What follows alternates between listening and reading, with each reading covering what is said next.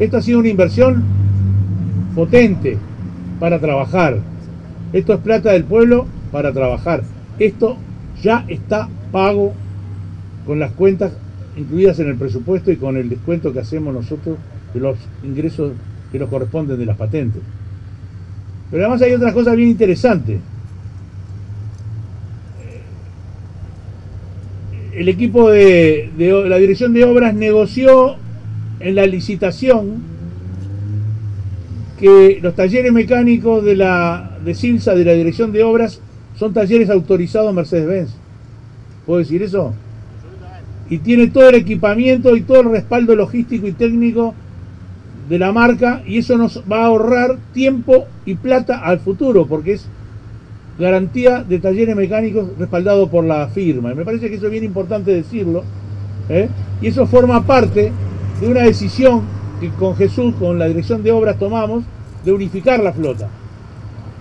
Porque esto era de cada pueblo un paisano y de cada pueblo un paisano, grandes problemas de repuesto. Se rompía una máquina, había que pasar dos meses para importar los repuestos que hoy ya no existen en plaza.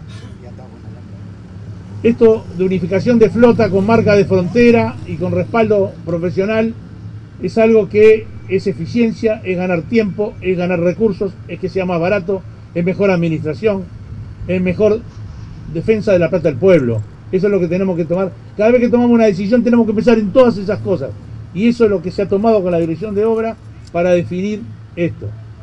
Y esto se está pagando esto no es cuentas a pagar, esto no son cuentas a dejarle para el otro gobierno, como nos han dejado. Nosotros cuando compramos o hacemos sobres las pagamos nosotros, no las pateamos para otro gobierno. Así que esto es de responsabilidad de, administración y ahí Pereira, Luis Eduardo, tomó todas las previsiones para que ya esté pago. Entonces tenemos que tener, estas son las cosas que hay que transmitir, porque es muy fácil después hacer obras y dejar a que las pague el otro gobierno, poner carteles. Acá no, esto compramos, pagamos nosotros y la trabaja por 20 años. Y una cosa no menor, una cosa no menor.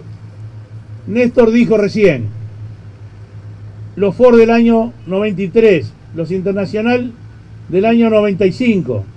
Hace más de 20 años que no se adecúa la flota, están funcionando, están trabajando con los esfuerzos de los técnicos de la Intendencia, poniéndole mantenimiento.